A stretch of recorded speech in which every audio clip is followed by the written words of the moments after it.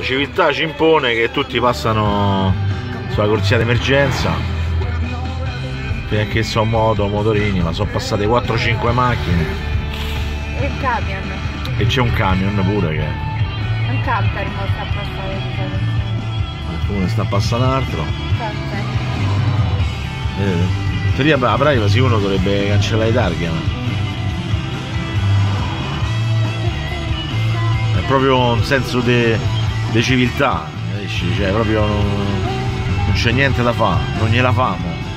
Però poi dopo ordine e onestà, eh, mi raccomando.